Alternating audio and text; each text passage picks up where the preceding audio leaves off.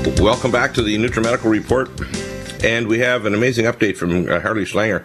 What's amazing to me, uh, Harley, we talked about this before the show, and I belong to the Association of American Physicians and Surgeons. We have lawsuits right now against Obamacare. And there's a lot of disinformation. The regular, I call the Cartoon News Network, CNN, the false or faux FAUX News Network, or Fox. The worst of all, the Vomit Network, I call them, the MSNBC, uh, literally, it's like a dog vomiting on your television screen. It's, that's how bad it is. None of these, including the so-called spokespeople from either the Republican or Democratic Party, are getting the proper spin on what's really going on with Obamacare. And you highlighted it very well. I want to expand on that, but lay out what you, you see is going on because the Rouge Foundation and what I do is to go to higher ground and tell it exactly what it is now. It's not a government takeover of healthcare. It's not, number one. It is the corporate degradation of healthcare with full permission by the government, and it's to enslave the health professionals and destroy the quality of healthcare and dental care in this country. It is a form of soft kill genocide, is what it really is. Well, and it's also a bailout of insurance companies. Exactly. As you It's- say, let's it's let's all of those things that you start off from, from what it really is instead of what the Yeah. both parties want to spin and say it is. Which, by the way, both of them are way off the mark. If this is target practice, they would be sent home and say, "I'm sorry, you really don't shouldn't operate a gun because you'll you'll you'll shoot yourself in the foot." Well, well, let's start from the higher standpoint because I've actually done a series of presentations in the last couple of weeks uh, where people have asked me to come and talk about why is it that the American people seem so passive or so gullible, where you can whip people up on what really, in the grand scheme of things, is a relatively small uh, injustice, namely the situation in Nevada. But when you have a president who routinely lies, who is promoting policies that are leading us to the brink of war against Russia and China, who's pushed through a health care policy which, as you say, is destroying the medical profession, including hospitals, while uh, convincing people that less is better for their health care. And by less is better, I don't mean unne- getting rid of unnecessary surgeries. I mean they're basically not going to pay for what you need. Uh, so why is it? Someone asked me to come and give some presentations. Why is it that the American people don't seem to get it? And there are two aspects. The simple one is the one you alluded to, which is the way the media is covered, or is controlled, I should say. You have a media in the United States which literally would make Joseph Goebbels envious. The Yeah. lying and the distortion from left to right, right to left, it doesn't matter. They lie on virtually everything. Because here's a perfect example. The current government in Ukraine, to anyone who knows anything about international politics, is an illegal government that was imposed by a coup run by the United States and uh, with some backup from NATO. And this government uh, issued a decree that the pro Russian militias in the eastern part of the country have to disarm. But the pro government militias who were involved in pulling the coup, who don't represent the people of Ukraine, that represent special narrow interests, including Ukrainian nationalists who are Nazis, don't have to disarm. And then this militia group of pro government or government controlled Nazis went in and shot and killed five people at a checkpoint who were armed with baseball bats. And the initial coverage on all the U.S. media was that there was a shootout at that place, and that's why people were killed. A shootout with a baseball bat. What do they do? Aim the That's right. bat, bat at them and go bang bang. Ready, Now, aim, and- swing. By the way, at least the uh, the pro-Russian uh, militia in these big cities have said, "Hell no, we're not going to put down our arms."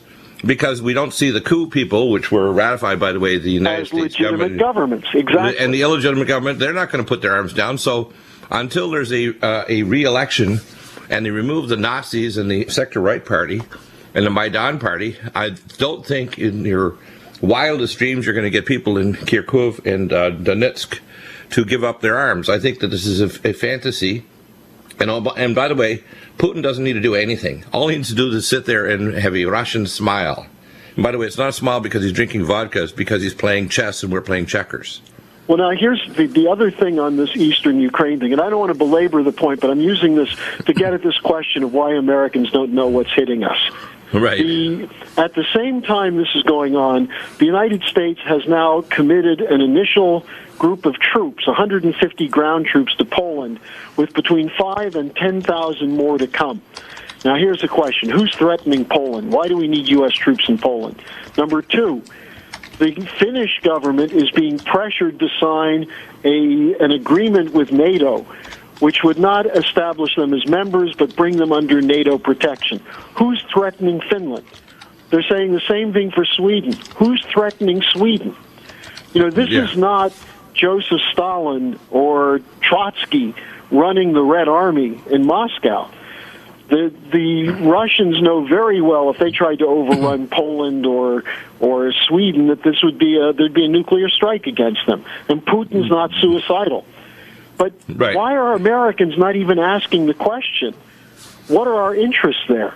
And then you get someone like McCain who says we should be prepared, if necessary, to send U.S. troops to Ukraine and confront the Russians. Now, he was in a losing war in Vietnam. Why does he want to put us in another losing war? He's seen how we didn't win in Afghanistan or Iraq. We left many Americans dead and crippled and suffering uh, uh, depression and post traumatic stress syndrome. We destroyed our military. We wrecked our budget with the spending on these useless wars. And now he wants to go for a bigger war. Why is this guy not committed to an insane asylum? And Well, it should be, Here's the interesting thing.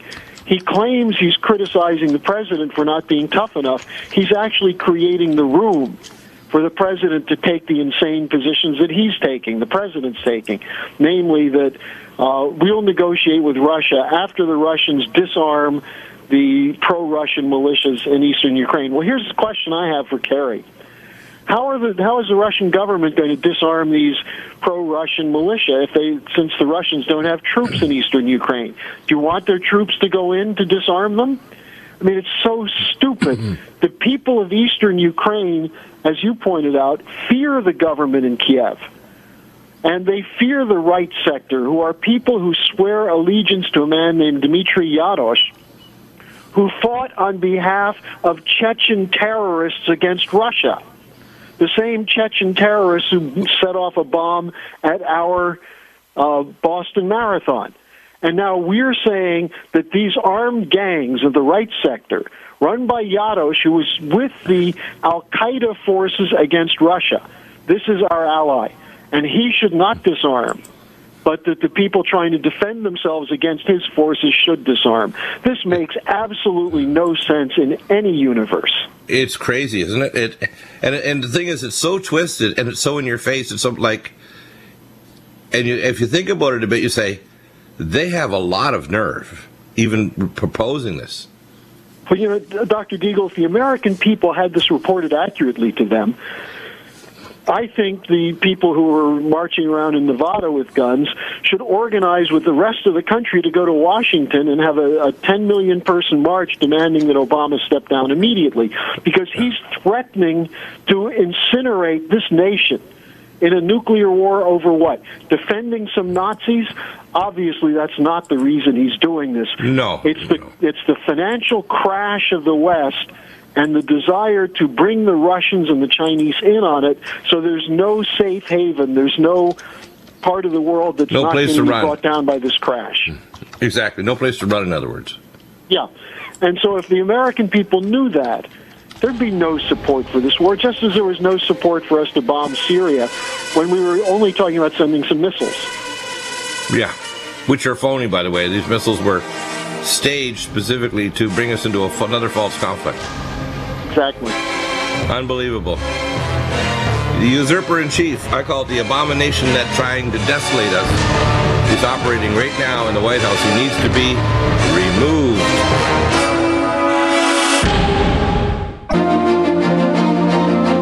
Oh, because you're dead. Yeah. All those things he'll liberate us from.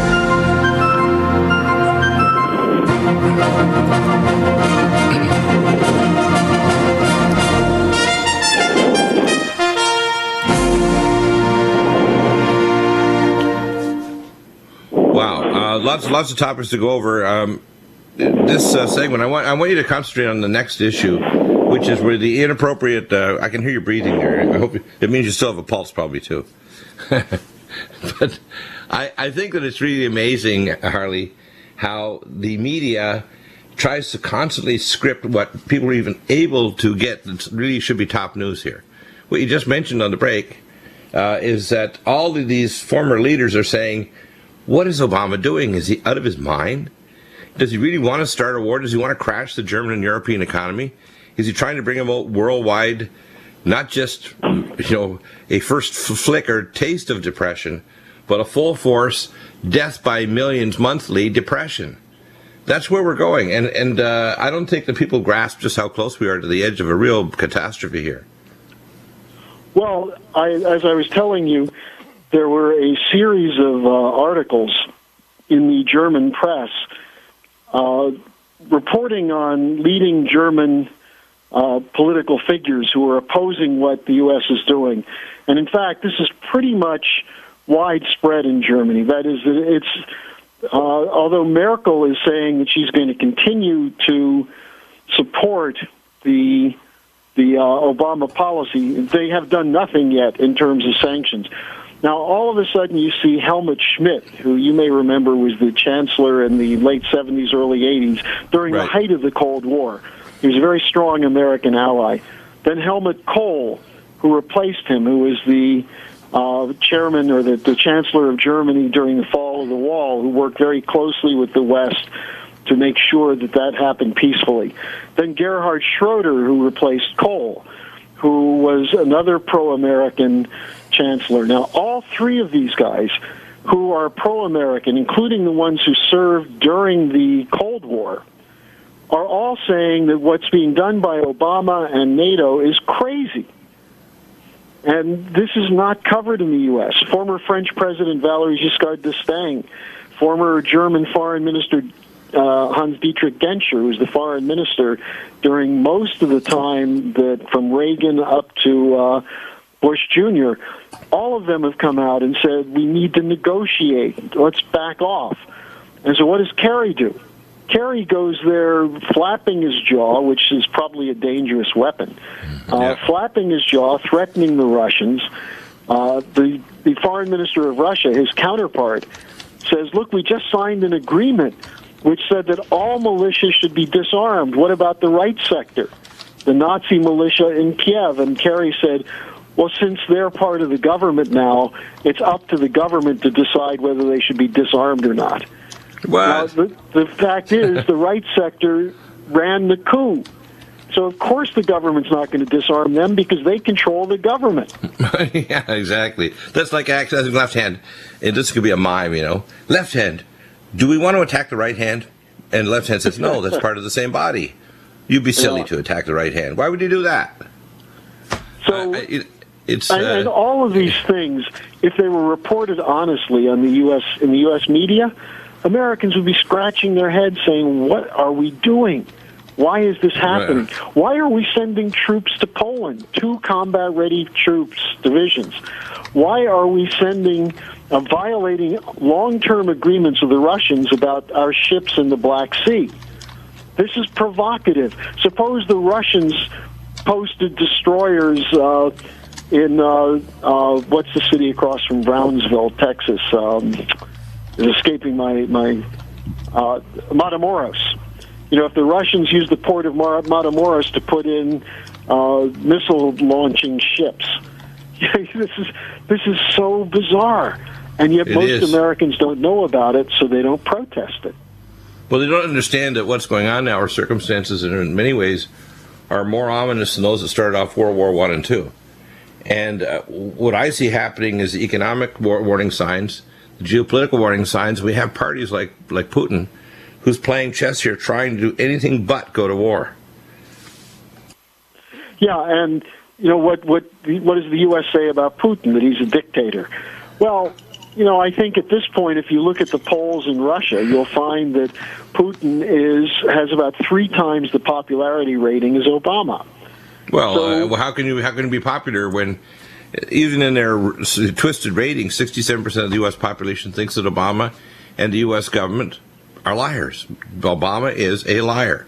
In actual fact, it's more like 98%, but the rest of the people are probably brain dead that, that don't understand that lying puts your nation in danger because you can't be trusted with your foreign allies or enemies. Yeah, so you know, this is why this question of the media control is so important, although many people use that as an excuse to say, well, you can't do anything. And, and you know, it's ironic. People who listen to your program and know better, know the media is lying, still say, well, you can't do anything because the media lies, even though they listen to your program.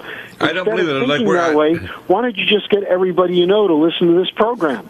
Exactly. And then, in fact, if you actually listen to the, the uh, analysis of how many people are listening, the the size of the audience is bigger than most network television shows now. So uh, I think we need to kind of, uh, as I say, put your big boy pants on and realize we are the media. We're the only ones that are actually citizen broadcasters telling the truth.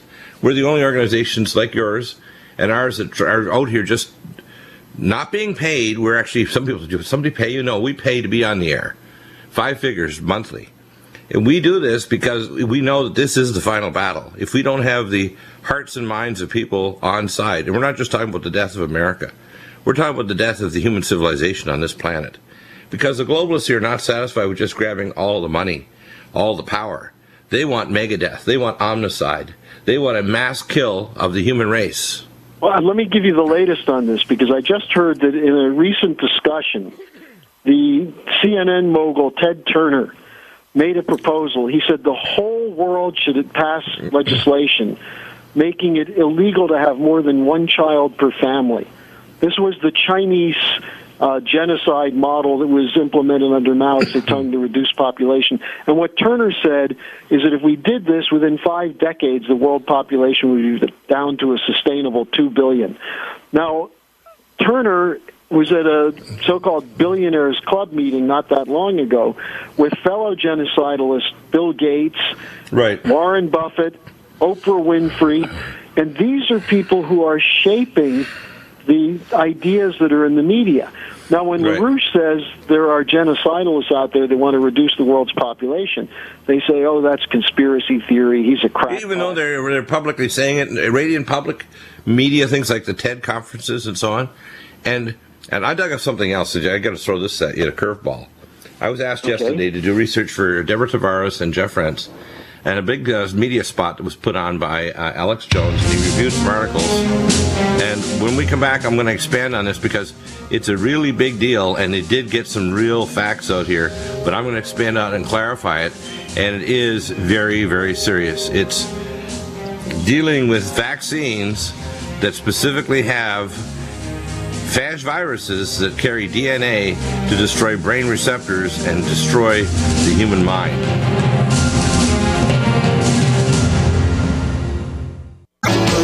Well, I'll expand in hour number three, but I just want to mention here this this uh, article, which I'm going to post up on the NutriMedical Report uh, show on NutriMedical.com.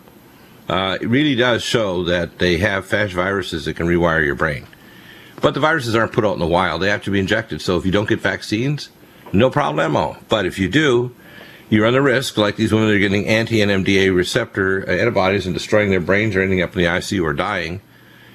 Uh, these people have to understand when you have people like Bill Gates that releases of you know mosquitoes that can actually vaccinate you or food they've actually funded research to make genetically modified food that will actually vaccinate you when you eat the food. These people are hell bent, literally hell, H E L L bent, on control and culling the human herd of population. And people think that no, no, this is just a conspiracy theory. They need a good hard slap in the face, physically, not just intellectually, because it's not okay for someone else to maintain this level of ignorance in the face of something this deadly and destructive. It's dangerous.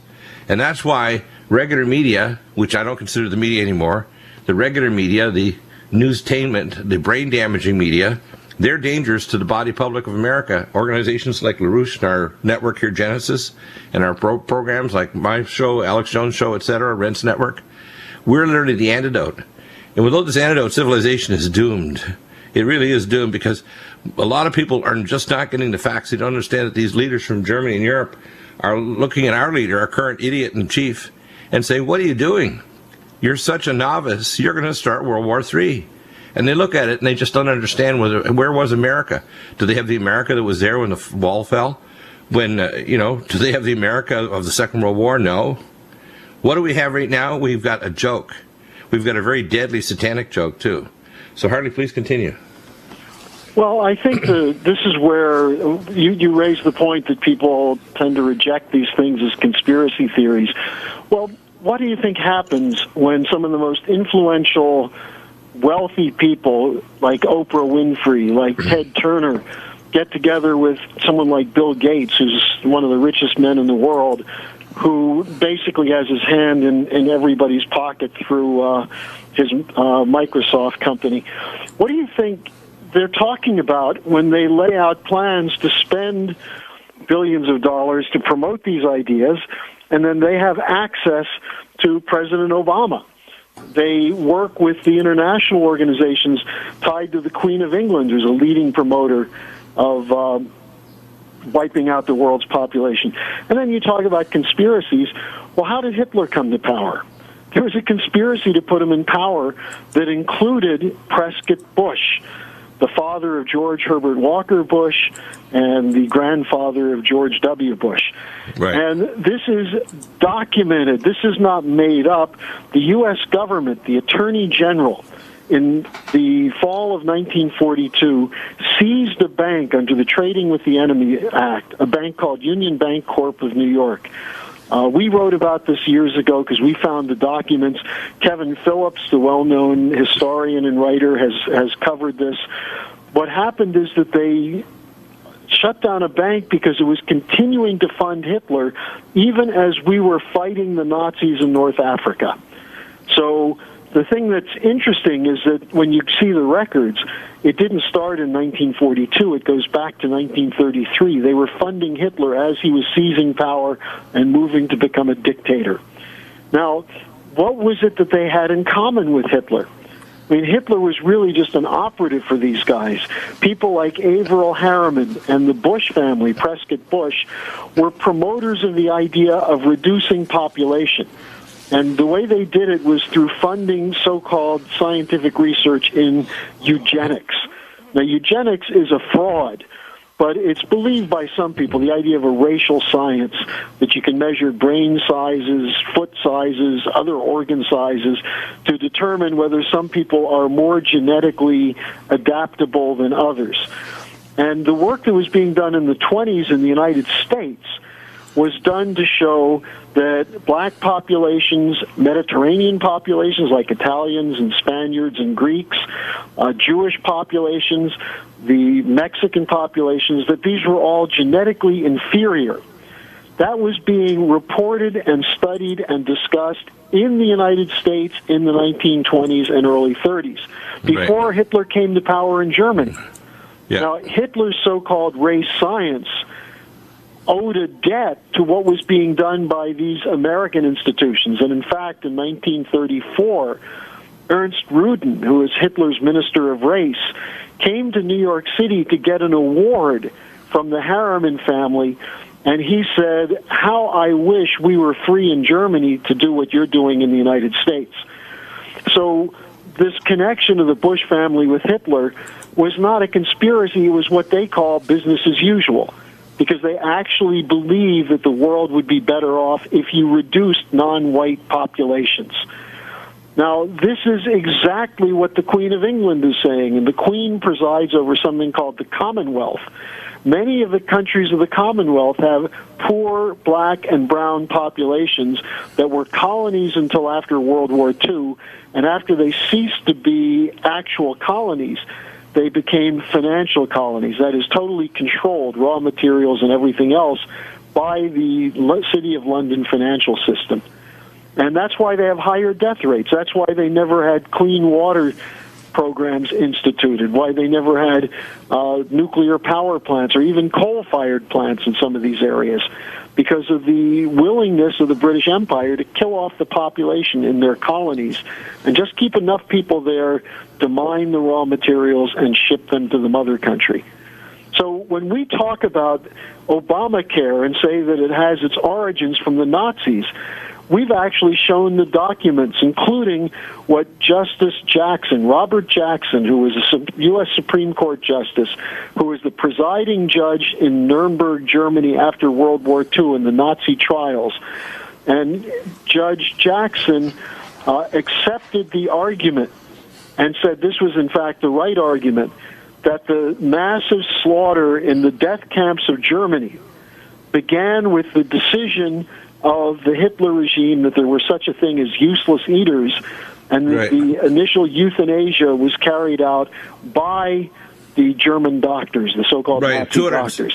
275,000 disabled people, Down syndrome people, people with uh, with uh, uh, all kinds of birth defects, just from a clubfoot to uh, a child that has Fragile X syndrome, Down syndrome.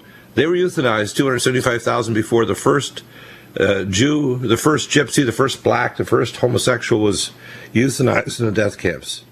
And what's important is the argument used to justify it was that they're never going to have a normal life where they can be productive for the Reich. And therefore, the government should not only not spend money on them, but should do nothing to allow them to continue to live. Right. in other words, they, they would the evaluate it in every individual. From Obamacare. Right. There are certain people who it just costs too much to keep alive. So let's, if we can convince them to voluntarily kill themselves, then you don't have the stigma of a Nazi government sending people to death. But when you take someone who's very sick and whose family is facing increased medical expenses, uh, because the, anyone who thinks your medical costs have been eliminated by Obamacare uh, need, needs to do a little bit of reading. You got a But- bridge for them on the moon, right? You go to a family where an, an elderly relative is very sick and needs surgery, and you get the doctor to say, "Look, he's not going to make it. It's going to cost a lot. Even if he does make it, he'll never have the same quality of life." And what's driving that? Cost reduction, save money, and what do they have to save money for? So we can fund regime change operations. Right, exactly. So, in other words, Granny's got to die because we got to make a smart bomb to kill some guy in some foreign country like Afghanistan, to kill his two goats, to kill his children and his two wives, and knock down his mud hut and kill his camel. That's why Granny's got to die. That's the size of it. Pretty bad, isn't it? Makes you nauseated to actually.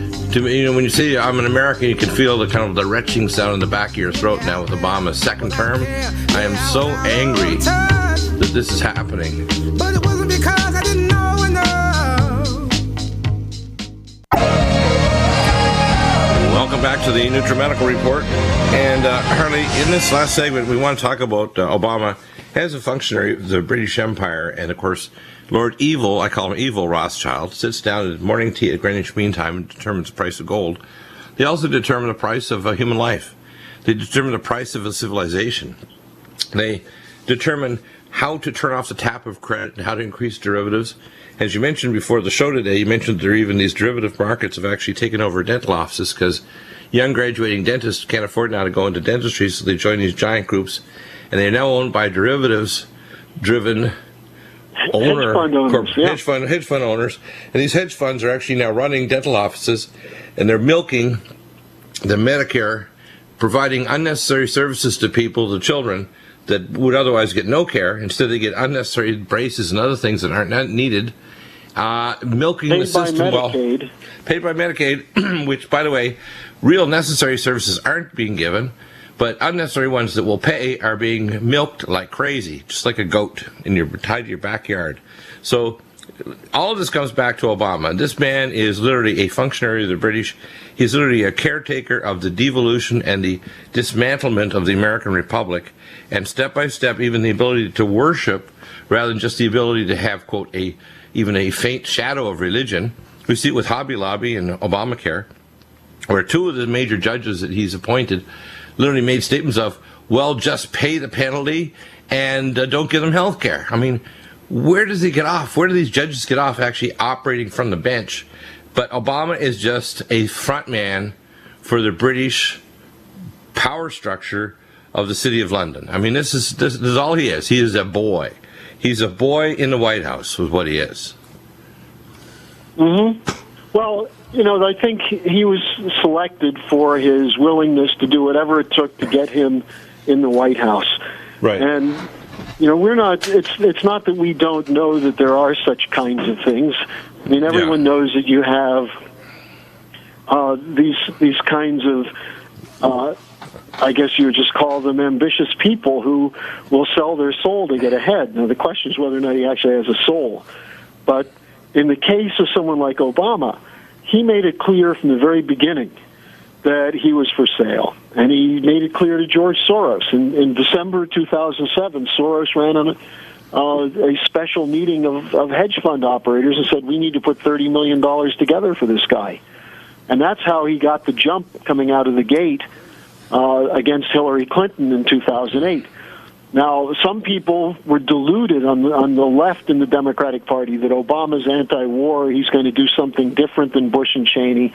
And now we look at what he's done. He is a continuation of the Bush-Cheney policy, a total Right. continuation. Which is why I, I say that the the Snake Party, which is both the Republicans and Democrats, and the party in power just happens to take over the job as the lower jaw, the biting part of the of the mouthpiece of the so-called governing body by administrative fiat.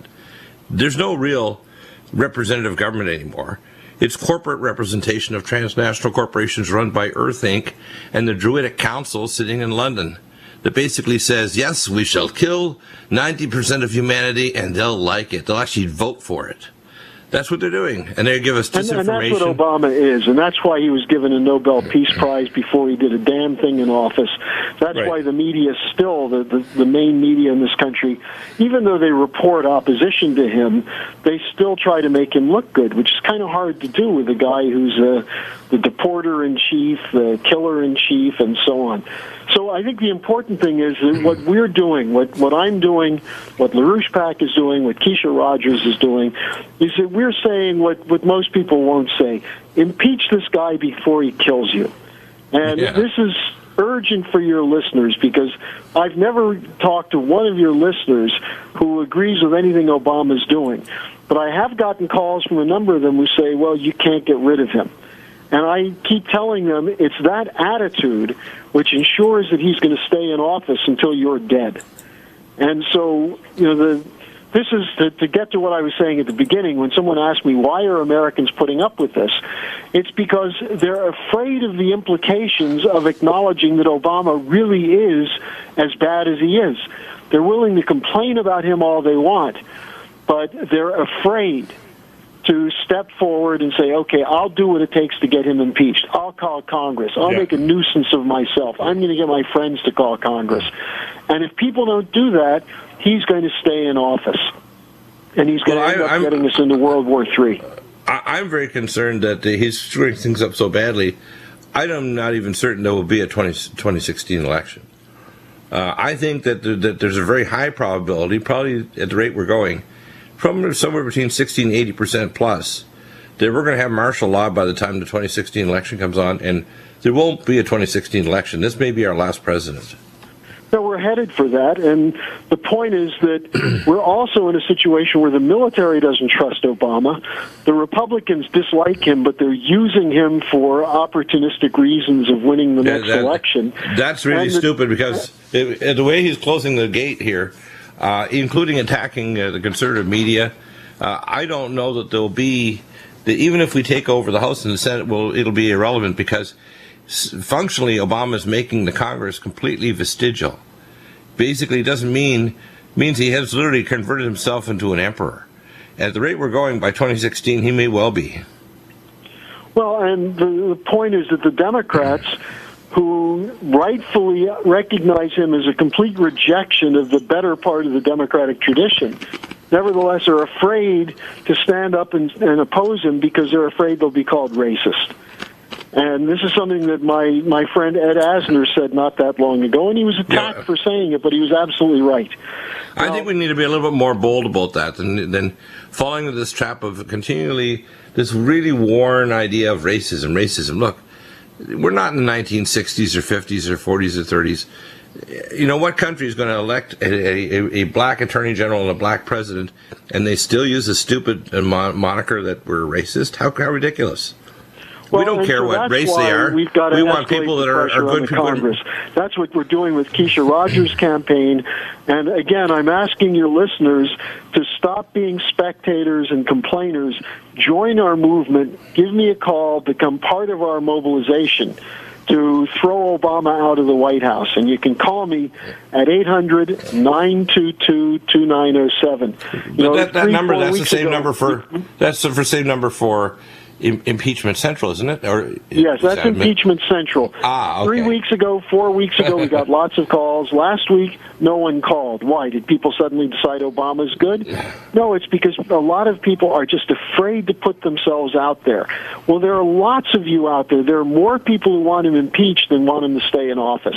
So make the call, join our mobilization. It's 800 922 2907. And that way you can overcome this problem of just being a complainer and actually become part of a solution. Well, there's three consequences to not complaining and not doing something. First is that the dollar will be devalued probably 75% within the next year and a half at the rate Obama's going. The second thing is we're probably going to be involved in a very, very bad war where a lot of our young men and women will die. It means they'll probably have to start a draft. So it means your sons may actually be drafted to be sent off to dead, become uh, either die or come back mangled or mentally a uh, disaster zone. And the third consequence is, is America may trigger off a conflict that could accelerate to the point where we have a full thermonuclear, biological, and chemical exchange. And life in America will basically be for only, as to say, the living, if there's anybody surviving, will envy the dead. That's how bad it can get. So, you know, this is not a minor game here. Uh, We're talking about playing out the Bay of Pigs times a thousand and the uh, Cuban Missile Crisis all over again. Only now we're going to have missiles placed in Venezuela, Nicaragua, and uh, Cuba again, uh, literally in our back doorstep that can strike any American city within minutes. And uh, and Putin doesn't want this. He knows that what he wants is a diversified economy. They're just starting to crawl out under his rule from the disaster 20 some years ago of the fall of, of the Soviet Union. And uh, So give us a call if you want to avoid World War III. Let's get Obama out. 800 922 2907. Call today. Don't wait. Yeah, I guess the the, the uh, tagline for it is "Let's boot the rookie." Well, let's boot the fascist killer. Yeah, well, that's the the He's fascist been in there uh, killer. long enough that he's no longer a rookie. Exactly. I guess his uh, main statement of, of glory is, "I'm really good at killing people" on the Tuesday morning Situation Room setting. And he actually did say that, didn't he? He really did. I, I can't believe it. My skin crawls when I hear it. I can't believe it. All right, talk to you next week. Amazing. Again, that number for Impeachment Central, 800 922 2907. Back in hour number two, hour three, Texe Marrs comes back, and we've got some shocking information for you. Stay tuned.